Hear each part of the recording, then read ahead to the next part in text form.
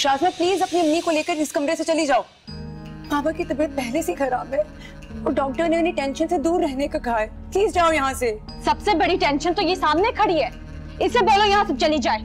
इसे देख के हमेशा का बीपी हाई हो जाता है। मैं यहाँ से कहीं नहीं जाऊँगी।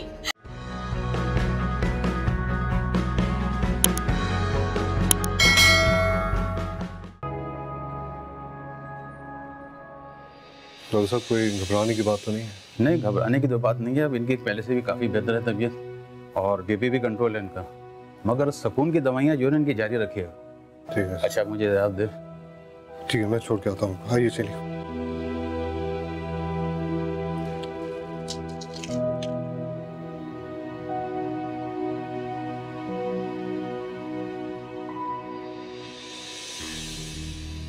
तुम क्यों आई हो यहाँ पर?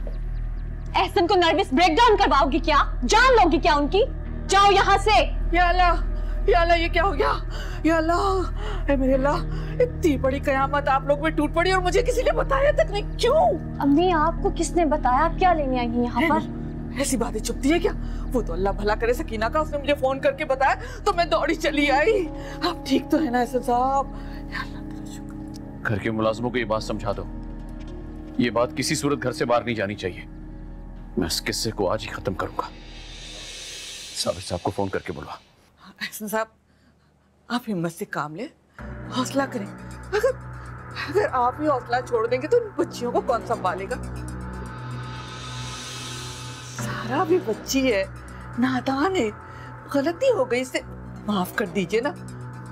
माना कि जहीन आपका नौकर है, लेकिन इतना बुरा भी नहीं अच्छा खासा पढ़ा लिखा और शक्ल का अच्छा है।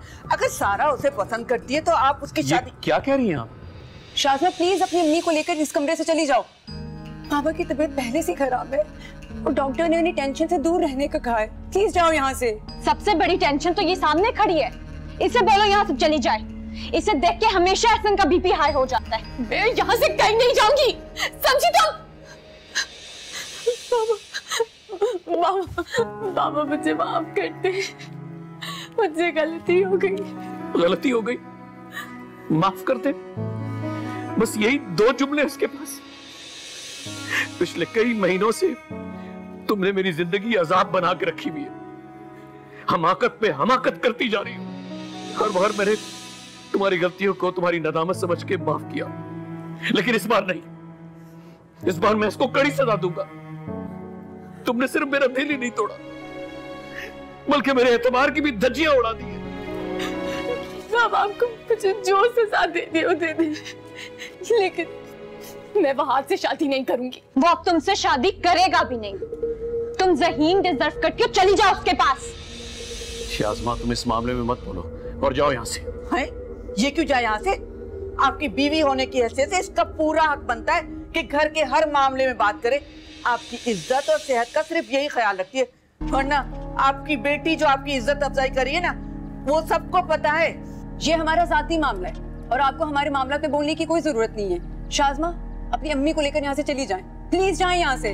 अम्मा चले चले यहाँ से बात कर लेने दे। क्यों चलो बात तो करनी तुम। चले ना चले। अरे तुम मुझे रोकती क्यों है? Assalamualaikum. Please subscribe to AOI Digital YouTube channel for amazing content.